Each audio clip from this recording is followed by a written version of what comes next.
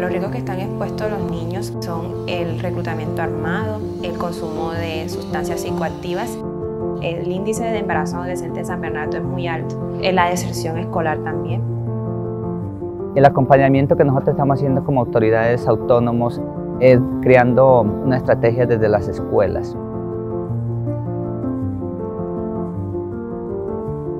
Se ha podido brindarle al barrio la oportunidad de que conozcan nuevas actividades.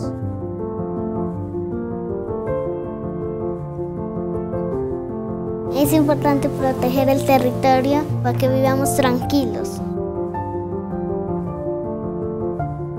Y una vida digna empieza desde un espacio donde uno pueda vivir.